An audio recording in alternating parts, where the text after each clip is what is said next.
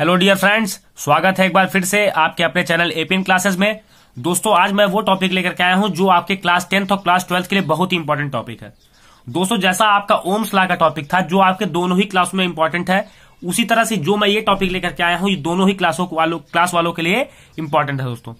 अंत तक बने रहेगा मैं आपको पूरे अच्छे तरीके से समझा दूँगा। दोस्तों, देखिए, बहुत ध्यान से इसको समझिएगा, क्योंकि मैंने इस पर यही चैप्टर्स हम पढ़ते भी हैं कोर्स में भी, ठीक है? और मैं आपको जान करके खुशी होगी कि मैं इलेवन ट्वेल्थ का टीचर भी हूँ, मैं इलेवन ट्वेल्थ को पढ़ाता भी हूँ कोचिंग ठीक है?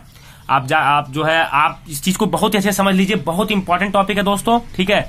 और इसके बाद आपको कोई कंफ्यूजन होगा, मैं आपको इस बात की गारंटी देता हूँ। बस, लेकिन आपको ये काम करना है, अंत तक हमारी वीडियो के साथ बने रहना है दोस्तों, और इस टॉपिक को बहुत ही अच्छे से समझना है दोस्तों। बहुत इंपॉर्टेंट टॉपिक है, हर साल एग्ज़ाम में पूछता ही पूछता है दोस्तों।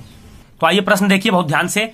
प्रकाश के अपवर्तन से आप क्या समझते हैं? यानी आप प्रकाश के रिफ्लेक्शन से आप क्या समझते हैं? रिफ्लेक्शन ऑफ़ लाइट से प्रकाश के अपवर्तन से आप क्या समझते हैं? ठीक है, इसके नियम इसके नियम लिखिए, इसके नियम लिखिए। अब इसके ध्यान दीजिए, दो नियम है इसके। ठीक है, एक तो पहला, दूसरा। दूसरा जो है, दूसरे वाले नियम को हम कहते हैं स्नेल्स लॉ क्या कहते हैं? स्नेल का नियम। ठीक है तो ध्यान दीजिए पहले। देखिए, जब प्रकाश एक पारदर्शी, अब कैसे करेंगे इसका उत्तर कैसे लिखेंगे? देखिए, जब प्रकाश एक पारदर्शी माध्यम से ठीक है? पारदर्शी का मतलब इसमें लाइट आर पार हो सकती है, यानी वो ट्रांसपेरेंट मीडियम है। माध्यम से दूसरे पारदर्शी, ठीक है? दूसरे पारदर्शी मीडियम में। माध्यम में प्रवेश करता, ठीक है? प्रवेश करता है तो दूसरे माध्यम में जाने पर इसका वेग, ठीक है? अब ध्यान दीजिए, एक माध्यम आपका ये है, देखिए, ठीक है? एक माध्यम ये है, दूसरे माध्यम में जाता है। तो इसके देखिए किस किसमें अंतर आएगा। वेग और दिशा में। ध्यान दीजिए जो इसकी वेव थी, ठीक है? इसका जो वेग है, यहाँ पर ज़्यादा है, यहाँ पर आने पर कम हो गया है दोस्तों। अब वो तो भारी और हल्के के ऊपर यहाँ पर डिपेंड है, ठीक है? भारी और हल्के पर यहाँ पर वो डिपेंड करता है। तो देखिए पहली बात तो वेग बदला यहाँ से, दूसरी बात आपकी यहाँ से दिशा बदल गई, ठीक है? तो दूसरे माध्यम से जाने पर इसका वेग तथा दिशा बदल जाती है, ठीक है? तो दिशा, वेग तथा दिशा क्या होती है हमारी? बदल जाती है दोस्तों, ठीक है? तो इसे हम क्या कहते हैं? इसको प्रकाश का अपवर्तन कहते हैं। फिर से समझ लीजिए, जब कोई भी प्रकाश की किरण, ठीक है, प्रकाश एक पारदर्शी मीडियम से, एक माध्यम से दूसरे माध्यम में जाता है तो जो उसके वेग और दिशा में परिवर्तन होता है, वही दोस्तों हमारा होता है प्रकाश का अपवर्तन। ठीक है? अब इस फिगर को आप ध्यान से समझिए पहले। देखिए, ये हमारा एक क्या है? मिरर है।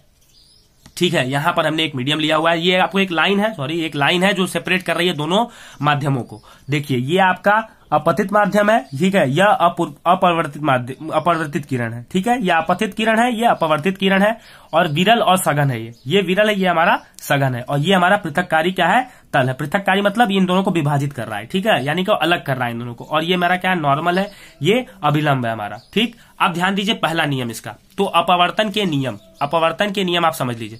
प्रकाश का अपवर्तन के दो नियम के अनुसार होता है, ठीक है? प्रकाश का अपवर्तन कितने नियमों के साथ होता है? दो नियमों के साथ, ठीक है? दो नियमों के अनुसार होता है। अब देखिए पहला नियम तो प्रथम नियम क्या होगा देखिए? अपतित किरण, आप ध्यान दीजिए। अपतित किरण, ठीक है? अपतित किरण, ठीक? अपवर्तित किरण और अभिलंब, ठीक है? देखिए, अपतित किरण अपरिवर्तित किरण और अपतन बिंदु पर, ठीक है? अपतन बिंदु पर ये जो बिंदु है हमारी, ठीक है? यही अपतन क्या है दोस्तों? बिंदु है। अपतन बिंदु पर खींचा गया, ठीक है? अभिलंब, खींचा गया अभिलंब। अभिलंब देखिए हमारा, ये हो गया। अभिलंब तीनों एक ही तल में स्थित होते हैं। क्या होते हैं तीनों? एक ही तल में स्थित। फिर से ध्यान दीजिए इस पे। अपतित किरण, अपवर्तित किरण और अपतन बिंदु पर खींचा गया अभिलंब तीनों एक ही तल में स्थित होते हैं। ध्यान दीजिए। अपतित किरण, अपवर्तित किरण और ये अभिलंब। तीनों क्या है? एक ही क्या है दोस्तों? एक ही तल में है, ठीक है? अब दूसरा नियम, ध्यान दीजिए। दूसरा नियम बहुत इंपॉर्टेंट दोस्तों। ये आपके थोरिटिकल में आपसे पूछ सकता है और ऐसे भी आपको डिफाइन करने के लिए दे सकता है। ऐसे भी परिभाषित करने के लिए आपको दे सकता है। तो देखिए, किन्हीं दो माध्यमों के लिए एक निश्चित तरंग तरंग धैर्य अथवा रंग, ठीक है? अथवा रंग के प्रकाश के लिए अपतन कोण की जा यानी साइन आर साई, ठीक है? साइन आई, तथा अपवर्तन, तथा अपवर्तन कोण की ज्या, ठीक है? अपवर्तन कोण की ज्या हमारी क्या होगी? साइन आर होगी। यानी कि साइन आई देखिए यहाँ पर और साइन आर हमारा यहाँ पर। ध्यान दीजिएगा, sine i upon sine r. ये देखिए हमारा दिया हुआ है, ठीक है? को एक निष्पत्ति, एक नियंताक होती है यदि अपातन कोण आई, ठीक है? यदि अपातन कोण आई, अब कोण आई देखिए, ये है हमारा और कोण आर हमारा यह है, ठीक है? तो अपतन कोण आई व अपवर्तन कोण, ठीक है? अपवर्तन कोण। आर है तो sine i by sine r equal to होगा नेतांग ठीक है? तो नेतांग निकालने का यहाँ से सूत्र भी मिल गया एन बराबर sine i upon sine r और इसी को हम कहते हैं स्नेल का नियम। अब देखिए, पढ़िए। इस नियम को स्नेल का नियम कहते हैं तथा इस नेतांग को पहले, ठीक है? इस नेतांग को पहले माध्यम के सापेक्ष दूसरे माध्यम का अपवर्तांक कहते हैं। क्या कहते हैं? अपवर्तांक कहते हैं। यदि पहले, ठीक है? यदि पहले व दूसरे माध्यम को एक व दो से प्रदर्शित करें तो प्रदर्शित करें तो माध्यम एक के सापेक्ष। क्या है माध्यम एक के सापेक्ष?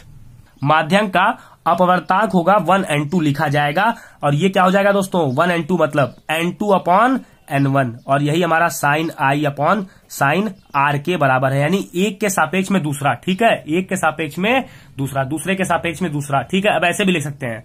यहाँ पर वन और यहाँ पर टू तो ये दूसरा हो जाता है, ठीक है? यहाँ पर n two upon one one, यहाँ पर n one upon n two तो यही हमारा sine i by sine r यही हमारा स्नेल का नियम है दोस्तों। तो आपको दोस्तों हमारी वीडियो कैसी लगी, आप हमें लाइक करके चैनल को कमेंट करके चैनल को सब्सक्राइब करिए दोस्तों, और नोटिफिकेशन बेल को टैप करिएगा, ठीक है? बहुत इंपॉर्टेंट टॉपिक था क्लास टेंथ और ट्वेल्थ दोनों के लिए, और आपके बोर्ड एग्ज़ाम्स के लिए ऑल द बेस्ट आप पूरे वीडियो को ध्यान से देखिएगा। मिलेंगे दोस्तों अपने के वीडियो में।